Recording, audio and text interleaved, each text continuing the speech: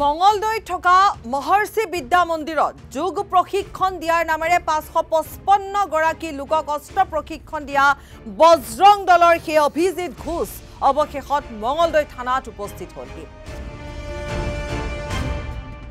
সকলোৰে নিশ্চয় মনত আছে বা সমগ্ৰ দৃশ্যটো জল জল পটপট অৱস্থাত আছে। কেনেধৰণে গৰমৰ বন্ধৰ সময়ছোৱাতে যোগ প্ৰশিক্ষণ দিয়াৰ নামত মঙলদৈত থকা যিখন মহৰ্ষি বিদ্যা মন্দিৰ সেই বিদ্যা মন্দিৰখনত অনুমতি লৈছিল তেওঁলোকে যোগ প্ৰশিক্ষণ ল'বৰ বাবে। যিখন অনুমতি পত্ৰ সেই পত্ৰখন পৰৱৰ্তী সময়ত পোহৰলৈ আহিছিল ফাদিল হৈছিল। আৰু দেখিবলৈ পোৱা গৈছিলে যে সেই পত্ৰখনত কেৱল মাত্ৰ এটা কথাই উল্লেখ আছিলে যে যোগ প্ৰশিক্ষণ দিয়া হ'ব।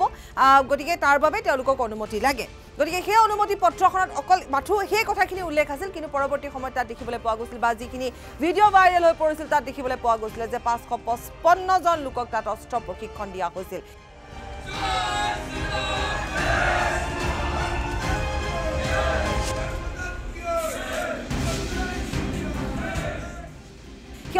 সেই অস্ত্ৰবোৰ ক'ৰ পৰা আহিছিল। তাকে লৈ যেতিয়া এই গোটেই কথাটো সচেতন মহলে আৰক্ষীক অৱগত কৰিছিল সমগ্ৰ ঘটনাটো সংবাদ মাধ্যমত যেতিয়া ওলাই পৰিছিল তেতিয়াই অন্য এটা ৰূপ লৈছিল। আৰক্ষীৰ হাতত পৰিছিল আৰক্ষীয়ে ক্লু লাভ কৰিছিল আৰক্ষীয়ে অনুসন্ধানত নামি পৰিছিল আৰু তাৰ পিছৰে পৰা এই অভিজিত ঘোষ এই অভিজিত ঘোষ পলাতক অৱস্থাত আছিল। অভিজিত ঘোষক কিন্তু বিচাৰি পৰা হোৱা নাছিল। মহৰ্ষি বিদ্যা মন্দিৰৰ কৰ্তৃপক্ষ অধ্যক্ষ অধ্যক্ষ সকলোৱে সংবাদ মাধ্যমৰ আগত বা আৰক্ষীৰ আগত তেওঁলোকে এই কথাখিনি উত্তৰ দিছিল তেওঁলোকে হাতত পৰ্যাপ্ত পৰিমাণৰ প্ৰমাণ আছিল। তেওঁলোকে কৈছিলে যে ইয়াত অনুমতি পত্ৰখনত মাথো উল্লেখ আছিল ইয়াত যোগ প্ৰশিক্ষণহে দিব বিচাৰিছে তেওঁলোকে। গতিকে যিগৰাকী অভিজিত ঘোষ অভিজিত ঘোষ আহিছিল তেওঁ সেই অনুমতি পত্ৰখন লৈ আহিছিলে। গতিকে যিখন মহৰ্ষি বিদ্যা মন্দিৰ তেওঁলোকে তাৰ বিষয়ে আৰু বিশেষ একো তেওঁলোকে জনা নাছিলে বা তাত কি হ'ব সেয়াও তেওঁলোকে জনা নাছিলে।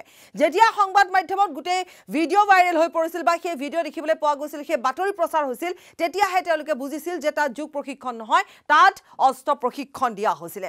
আমি দেখুৱাইছোঁ কেনেকুৱা ধৰণৰ অস্ত্ৰ প্ৰশিক্ষণ তাত দি থকা হৈছিলে। তাৰপিছতে চকু মেল খাইছিল সচেতন মহলৰ। প্ৰত্যেকে প্ৰশ্ন উত্থাপন কৰিছিলে যে কি কাৰণত বজৰং দলে তাত পাঁচশ পঁচপন্নগৰাকী লোকক অস্ত্ৰ প্ৰশিক্ষণ দিলে। প্ৰশ্ন বিভিন্ন ঠাইৰ পৰা আহিছিল আৰু সেই সময়ছোৱাতে কিন্তু দুগৰাকীকৈ মন্ত্ৰীয়েও কিছু মন্তব্য কৰিছিল।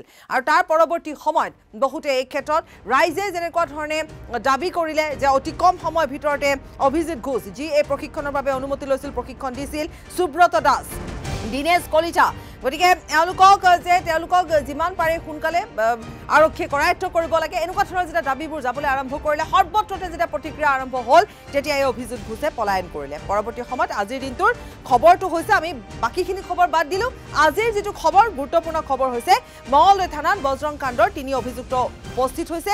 মঙলদৈ থানাত হাজিৰ হৈছে অভিজিত ঘোষ সুব্ৰত দাস দীনেশ কলিতা। বজৰং দলৰ অস্ত্ৰ প্ৰশিক্ষণ কাণ্ডৰ সৈতে তিনিওজন জড়িত আছিল। গুৱাহাটী হাইকোৰ্টত অগ্ৰিম জামিন লৈ হাজিৰ হৈছেহি। বজৰং দলৰ জিলা সম্পাদক হৈছে অভিজিত ঘোষ।